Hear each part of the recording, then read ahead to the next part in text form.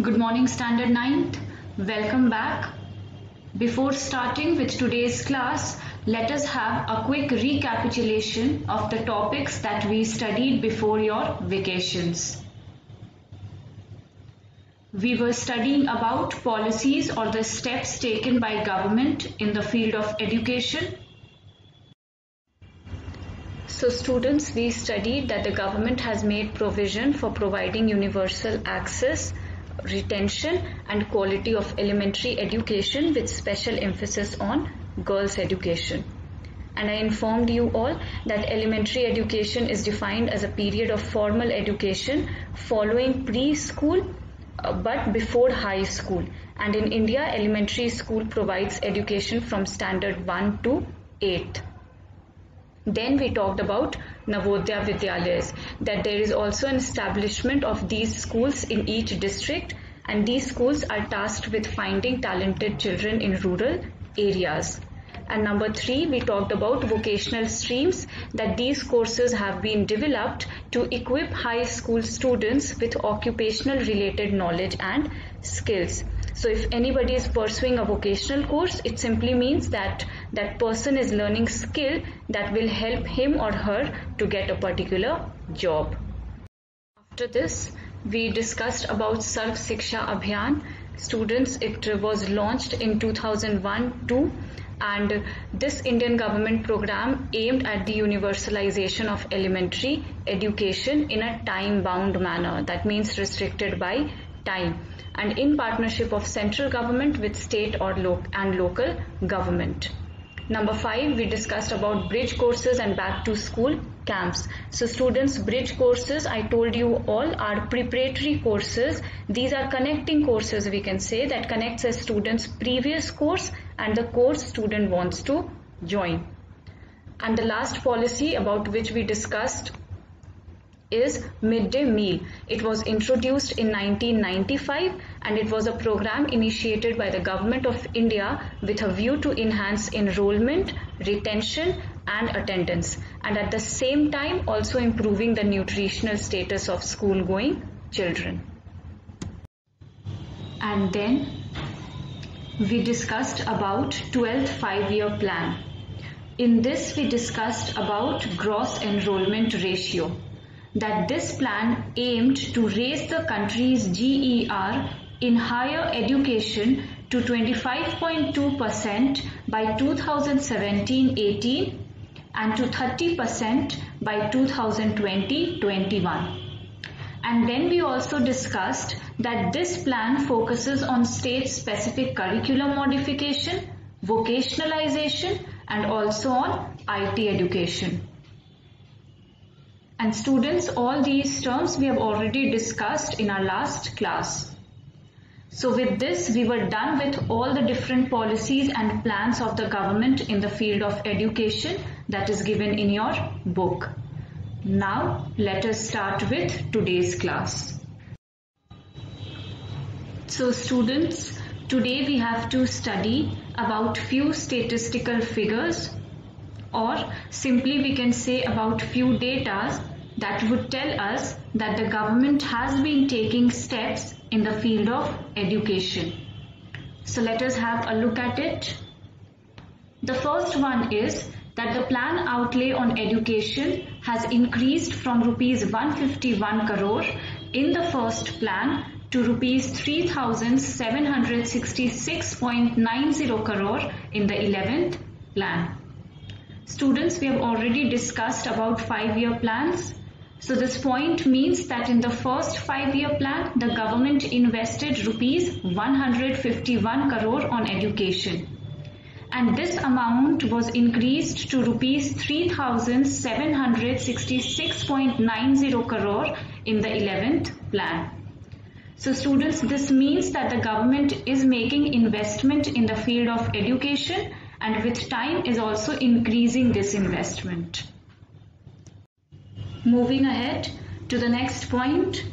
So it is that the expenditure on education as a percentage of GDP rose from 0.64% in 1951-52 to 3.0% in 2015-16. Now students, before understanding this point, let us understand the meaning of the term GDP, that is Gross Domestic Product. Students remember we studied about GNP in the first video of this chapter. So we studied that GNP is the value of all final goods and services made by a country's residents and business regardless of production location. So it means that no matter where the goods are being produced, if that good is being produced, if a particular good is being produced by a particular country's residents, then it will be added to the GNP of that country. Whereas GDP refers to the value of all final goods and services produced within a country in a specific year. So this means that no matter who is producing the goods, if those goods are produced within a country in a specific year, its value will be added to that particular country's GDP. So students, we can say that in, G, in GNP, what matters is that who is producing it irrespective of the production location. Whereas in GDP, production location matters. The goods, no matter who is producing it, the goods have to be produced within the territory of a particular country. So this is the difference between GNP and GDP. I hope it's clear now. Now coming back to the point. So according to this point, in 1951-52, of the total GDP, its 0.64% was spent on education. Whereas in 2015-16, 3.0% of the total GDP was spent on education. So again, this point shows that the government is making investment, is increasing its investment in the field of education. Next, point number three, so students, this point talks about literacy rate. Let us first understand that who all are considered as literate in our country and what age group of people are included in the estimation of literacy rate. So students, the definition of literate in our country is someone who can read and write with understanding in any language a person who can only read but cannot write is not literate. People of age 7 and above are included in the estimation of literacy rate. So now that we know the definition of literacy, let us have a look at this point. So this point says that the literacy rates have increased from 18% in 1951 to 74% in 2000 10, 11. So this means that with time more and more people are getting educated. Students, this data is for the entire country.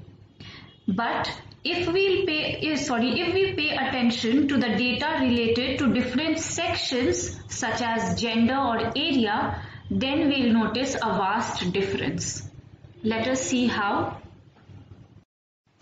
students, if we divide the population on the basis of gender, then it is found that the literacy among males is nearly 16.6% higher than females. That means that more number of males are educated in our country as compared to females.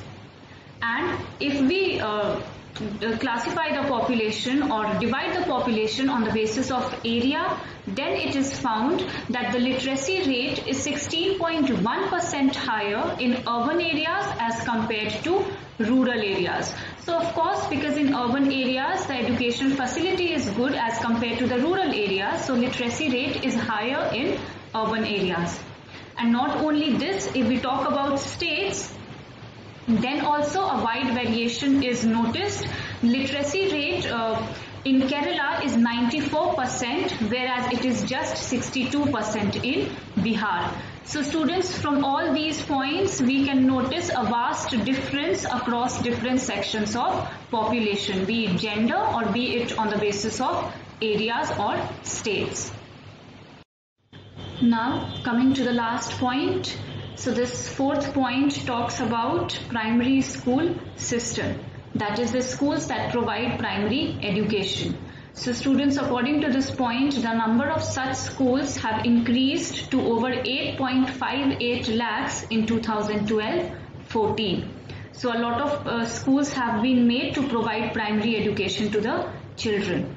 But then it is very sad to know that this huge expansion of schools has been diluted by the poor quality of schooling and high dropout rates. Dropout rates uh, means that the children are not completing their education and they're leaving their studies uh, in between. So students, this also we have studied that the government also focuses on universal retention. Retention means that the students, children continue with their studies. They don't drop out or, or they don't leave their studies. So students, the, these were the important data that you had to study related to education. So that's all for today. Thank you class.